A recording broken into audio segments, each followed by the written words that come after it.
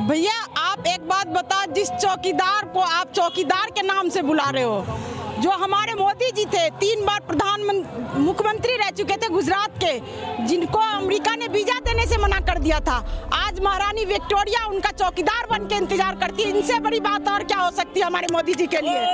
भारत के प्रधानमंत्री माननीय नरेंद्र मोदी जी पूरे देश में एक सशक्त सरकार, विकासशील सरकार, पारदर्शी सरकार और एक ईमानदार सरकार के रूप में काम किया। और पाँच साल में 140 से ज़्यादा योजनाएँ जो लाए हैं, वो गाँव, गरीब, किसान, मजदूर, दलित, वंचित, सबके लिए उनमें सब में गरीबी सेंटर, कल्याण का सेंटर गरीब है, पीछे उसको उत्थान के लिए।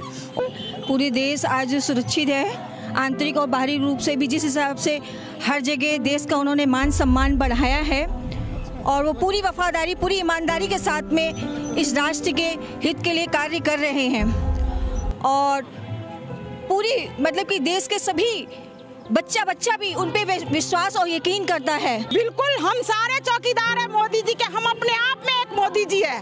और हमारे परवेश वर्मा बहुत सारा विकास कर रहे हैं, बहुत अच्छे काम कर रहे हैं।